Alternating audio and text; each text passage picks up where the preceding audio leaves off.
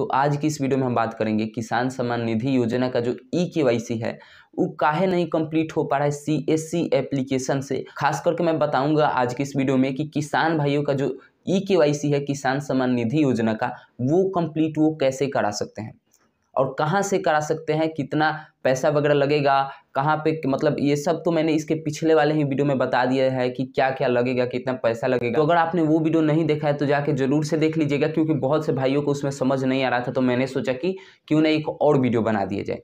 तो आज की इस वीडियो में हम यही बात करेंगे कि जो भी किसान भाई है, वो किसान किसान सम्मान निधि योजना का जो के है, ई के है, वो कहाँ से जाके करा सकते हैं? तो चलिए वीडियो शुरू करते हैं बिना टाइम वेस्ट के, लेकिन उससे पहले मैं आपको बता दूँ, ध्यान से सुनिएगा। चैनल पे नए हैं तो चैनल को सब्सक्राइब कर लीजिएगा। क्या है कि कोई भी आपको प्रॉब्लम होगा तो इस चैनल पे आपको वीडियो मिल जाएगा और बता दिया जाएगा। चाहे कोई भी किसान सम्मान निधि योजना के अंतर्गत कोई योजना आता है तो वो भी आपको अपडेट मिल जाएगा।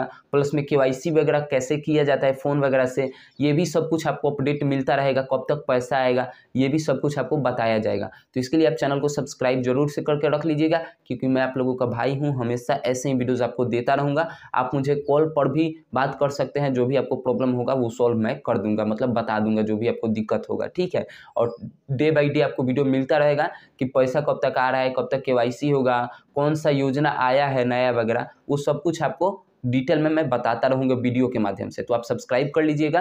अब चलिए आगे बढ़ते हैं और आपको बताते हैं जो भी किसान भाई हैं, जिनका जिनका ई के नहीं हुआ है, वो कहाँ पे करा सकते हैं जा करके कैसे कराना है और एक्सेसिबिलिटी क्या क्या चाहिए मतलब क्या क्या लगता है, कितना पैसा वगैरह लगता है, इस वीडियो में फिर से मैं रिपीट कर दूँगा। तो चलिए वीडियो शुरू करते हैं, आपको बता देते हैं। लेकिन अभी फ़िलहाल में बात करेंगे किसान भाइयों का, कि किसान भाई कहाँ से जा करके करा सकते हैं ई तो मैं आपको बताना चाहता हूँ कि आप सिंपली किसान भाइयों को मैं बोल देना चाहता हूँ, आपको कुछ ज़्यादा नहीं करना है, ज़्यादा मैं टाइम आपका नहीं लूँगा। मैं आपको क्लियर बता दूँ कि आपको गाँव में, अपने गाँव में, जो भी आपका गाँव है, उसमें एक दो साइबर कैफ़े होता है, मार्केट में होता है, जो भी कंप्यूटर, लैपटॉप वगैरह रखते हैं, सिंपली उनके पास ही आपको चले जाना है। मतलब कहीं और नहीं जाना है, मार्केट में जाना है, आपके गाँव में भी अगर कोई कंप्यूटर वगैरह रखा है तो वहाँ पे चले जाइए और जाने के बाद में उससे बोल दीजिएगा सिंपली कि मेरा जो ई के वाई सी है वो कराना है।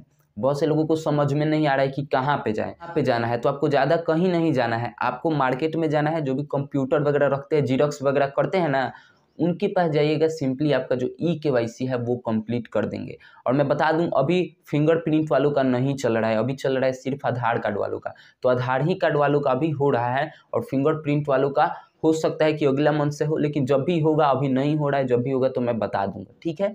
तो आपको बस जाना है और जा करके अपना ई के वाई सी कंप्लीट करा लेना है। बस आपको आधार कार्ड ले, लेते जाना है और पचास गो रुपया, मात्र पचास गो रुपया आपको लेते जाना है। पच्चीस तीस रुपया में आपका काम हो जाएगा, दस बीस रुपया बचेगा, आप आराम से खा लीजिएगा और चले आइएगा, ओके?